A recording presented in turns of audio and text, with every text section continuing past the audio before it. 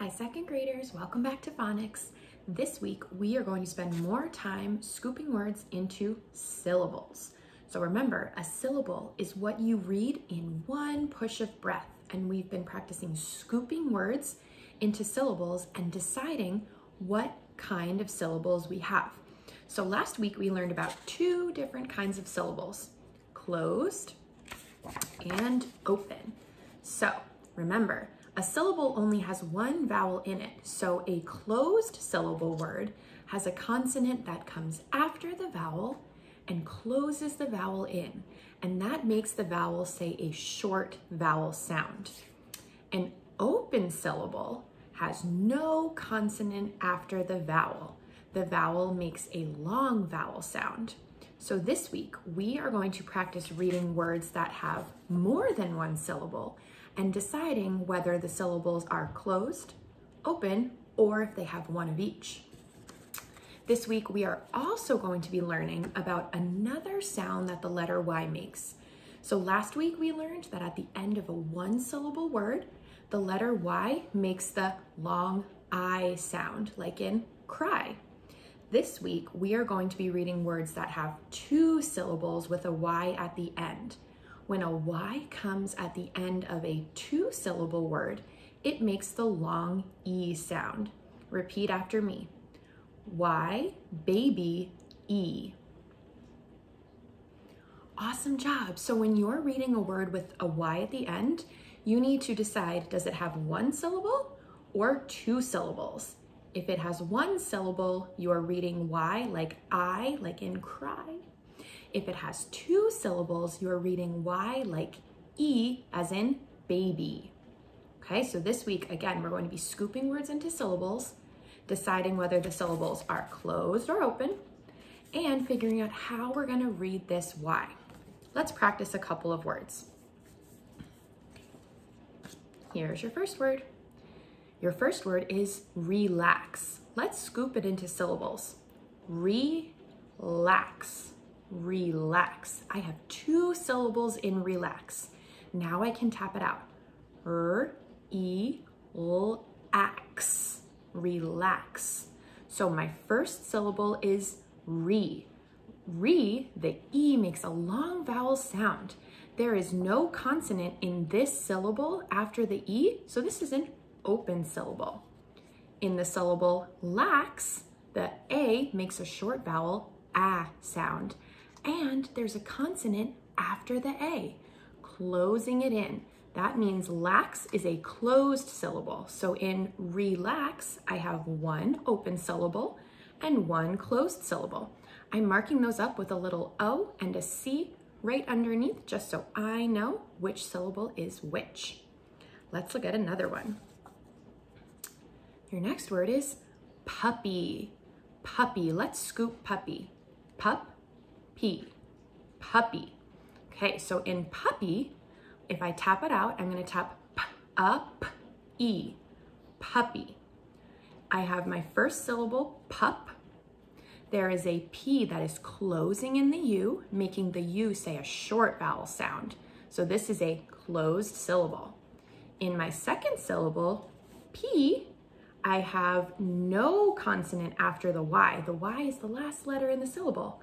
It also makes the long vowel E sound. So this is an open syllable at the end. So I have a closed syllable and an open syllable. And since puppy is two syllables, I'm going to say the Y like a long E sound. We wouldn't say puppy, we say puppy, just like baby. Okay, here's your next example. This word is crazy. Let's scoop it. Crazy. Crazy. If I tap that out, I would tap k, r, a, z, e. Crazy. Let's look at the two syllables. Here's my first syllable, cray. The A makes the long vowel sound and there is no consonant after the A, closing it in in this syllable. So this is an open syllable. I labeled it with an O. If we look at the second syllable, Z, the Y makes the long vowel E sound and there is no consonant after the Y.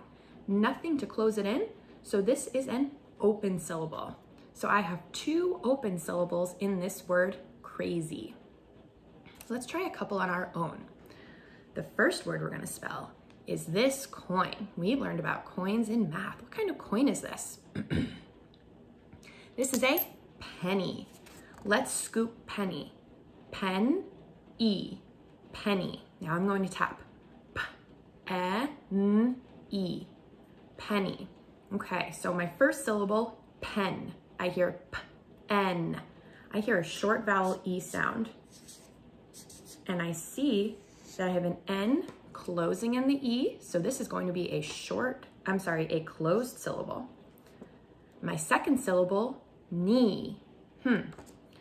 I hear an N in there, and I know that at the end of a two syllable word, the Y sometimes makes the long E sound. So I'm gonna add a Y at the end. Penny, penny, penny. And since there's no consonant after the Y, to close it in, that is an open syllable. So I have a closed syllable and an open syllable in the word penny. It's two syllables. Okay, let's try another one. When you are all done with your work, we would say you are finished. You would say, what, when did you finish your work? You finished so quickly. Let's try the word finish. Ready? Let's scoop it first. Fin-ish two syllables. Now we tap. In, ish, finish. Okay, let's tap. Let's try one syllable at a time. The first syllable is fin. So I hear in. I hear a short vowel I sound. So I know that this syllable is closed because the N is closing it in. In the second syllable, I hear ish. I hear a digraph at the end. Ish. I hear a short vowel I sound again, and the digraph is closing in the vowel. So that means it is closed. This word is two closed syllables. Finish. There are no long vowel sounds in this word. Let's do one more. Here I have a jar of tulips. Tulips. Let's tap out and scoop the word tulip, one of my favorite flowers. Two, lip. Let's tap. T, u, l, ip. Tulip. Okay, so I hear two syllables in there. The first syllable is t, u. Hmm. I know that that is a long vowel U sound, and there's nothing closing it in, so that's an open syllable. Two, l, ip. I hear a short vowel I sound in there, and I see that there's a P closing in the I, so we have a closed syllable. So open, and closed. Awesome job, friends. So this week, you're gonna spend time scooping and tapping and practicing spelling words with the Y as a long vowel E sound. I hope you enjoy this week's activities and I'll see you soon for more phonics. Bye, second grade.